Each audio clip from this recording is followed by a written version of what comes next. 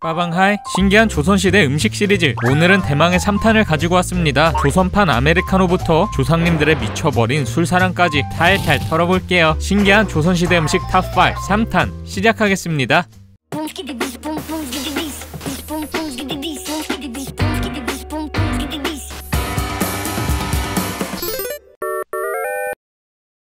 왕의 음식을 만드는 공간 수라간 수라간 하면 떠오르는 드라마가 있습니다. 대장금. 하지만 수라간에 대장금 같은 여성 주방장은 존재하지 않았다는 거 아셨나요? 이거 보세요. 1605년 선묘조제재경수연도. 열심히 요리 준비를 하는 사람들. 네 모두 남자들 뿐입니다. 이들을 숙수라고 불렀는데요. 세종실록에 자세한 기록이 있습니다. 400명에 달하는 수락관 직원 중 남자가 376명 여자는 고작 12명 뿐이라고 높은 일화도 있습니다. 1453년 세종 15년 요리를 할 궁녀를 공녀로 바치라는 명나라의 요구. 요리사는 전부 남자뿐이라 여자들이 할 수 있는 일이 아닌데 라며 당황했을 정도라고. 실제로 나인들은 차려진 음식을 나르거나 보조하는 일을 맡았고요. 셰프는 숙수들이었죠. 남자 셰프가 대세였던 이유는 뭘까요? 먼저 조선시대는 남녀가 유별했던 유교 사회였습니다. 왕의 수라를 여성에게 맡긴다? 상상하기 어려웠죠. 남다른 노동 강도도 한몫했습니다. 하루에 최소 다섯 번은 올라갔던 수라상. 이른 아침에 초조반 제대로 된 아침상 조수라 점심 다과 낮것상 오후 5시에 이른 저녁상 석수라 야식 야다 소방과까지. 와! 이외에도 왕이 원하면 언제든 요리를 대령할 수 있도록 24시간 대기해야 했다는. 안 그래도 손이 많이 가는 궁중 요리. 무겁고 거칠었던 재래식 요리 도구로 이 모든 것을 해야 했으니 중노동이 따로 없었죠. 이 숙수들을 진두지휘하는 작업반장이 대령 숙수입니다. 임금의 명을 기다린다는 뜻. 조선시대 최고의 요리사로 배를 이어 세습하는 전문직이었는데요. 아들이 10살쯤 되면 이를 가르쳐 자리를 물려줬죠. 하지만 잡직에 분류된 기술직을 천대하는 분 위기였던 조선 박봉인데다 명예와는 거리가 멀었고요. 하루 이교대로 쉴 새 없이 음식을 해대도 몸이 남아나지 않았습니다. 제사, 회식, 생일, 각종 잔치, 손님 접대 등 매일이 행사의 연속 출장 뷔페 서비스도 기본 업무 중 하나였습니다. 뻑하면 권력가에 불려다녀 했다는 이쯤 되니 보통 체력으로 안 되는 건 물론 남자 숙수들도 도망가기 일쑤였죠. 그렇다면 수락관이 여성들의 공간이라는 고정관념은 언제부터 생긴 걸까요? 때는 고한말 고종 황제가 폐위된 이후 조선 왕실은 겨우겨우 연명되고 있었습니다. 물론 왕의 요리사인 숙수들도 전원 해고당했고요. 할 수 없이 상궁들이 숙수의 자리를 대체하게 된 거죠. 이랬던 게 오해를 불러일으켜 지금의 이미지로 굳어진 거라고 하네요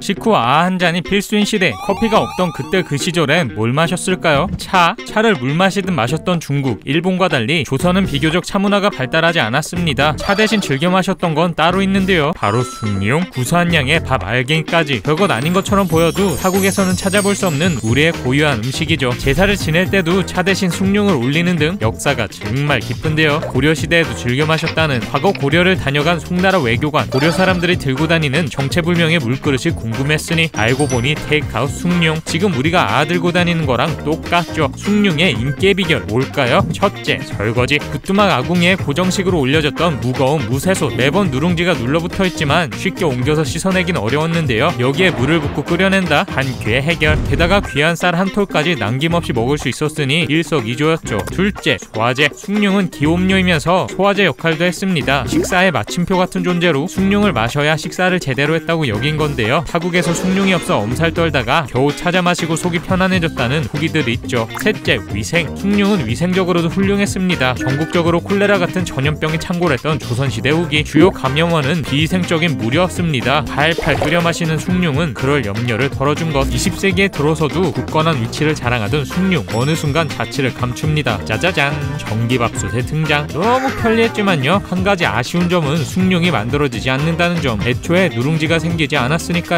대신 그 자리는 커피가 대체했죠. 모든 식후에 뭔가 마셔야 속이 개운하다고 생각했던 문화 덕분입니다. 그 시작이 숭늉이었다니 새삼 신기하네요.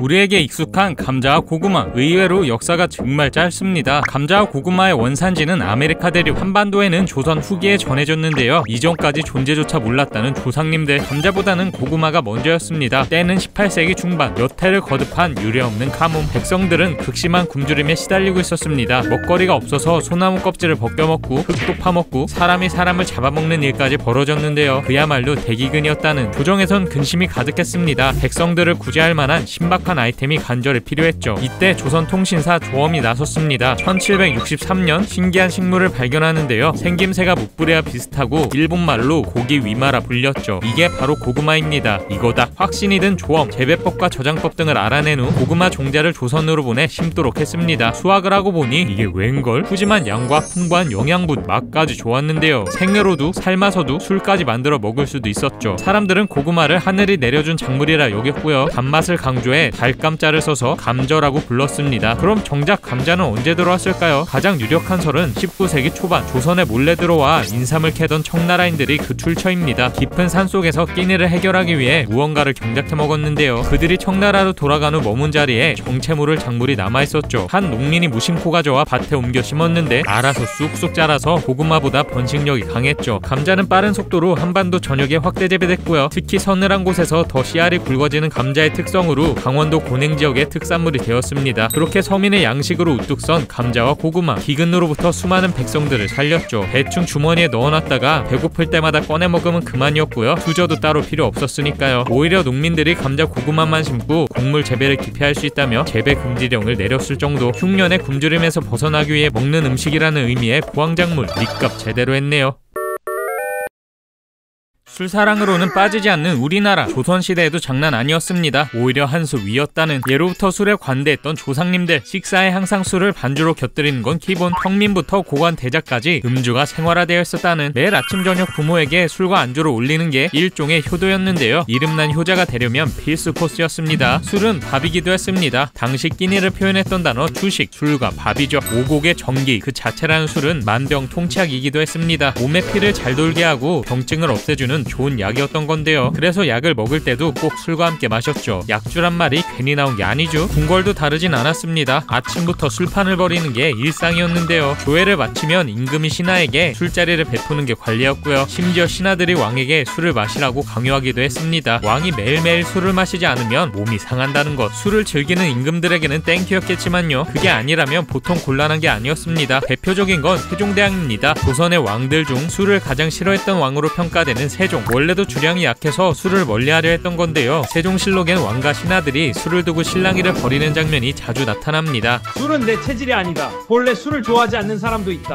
약용으로 술이 필요하다면 차라리 탕약을 마시겠다. 라고 해도 아무 소용 없었다는 이렇듯 조선에는 술을 승상한다는 의미의 숭은 풍조가 널리 퍼져 있었습니다. 최고의 선물도 술이었는데요. 무려 임금의 하사품 목록 제1호였다는 노년에 정년퇴직한 관리, 누운 신하, 나라의 공을 세운 백성, 성균관 유생들, 과거 합격자 등 노고를 취하는 의미로 술을 하사했죠. 심지어 옥살이 중인 죄수에게도 술을 내려 위로했다고 하지만 뭐든 적당한 게 좋은 법. 술로 인해 일어난 여러 가지 사고들이 사회적으로 큰 무리를 일으키는데 다음 순위에서 더 알아볼게요. 채널 고정.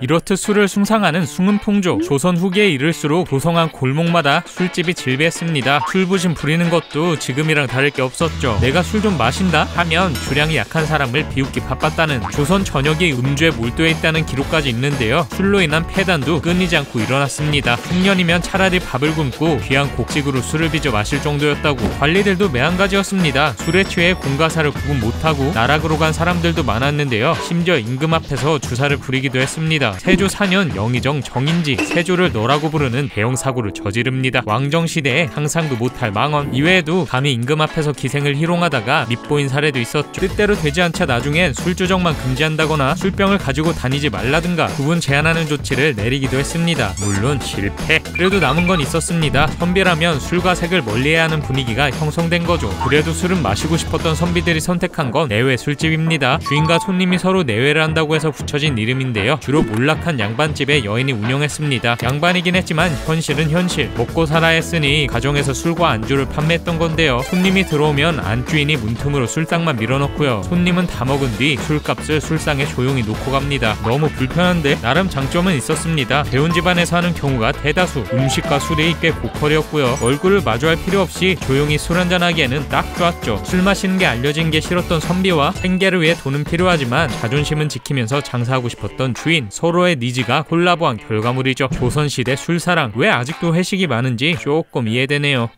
정말 신기한 문화가 많은 조선시대 수락관 요리사들이 다 남자였다는 건 진짜 놀라운 사실이네요. 마무리 아직 신기한 조선시대 음식 영상을 안 보신 분은 이어서 봐주시고요. 영상이 재밌었다면 좋아요와 구독하기 그리고 알람 설정을 꾹 눌러주세요. 다음에도 기대해주시 라이츄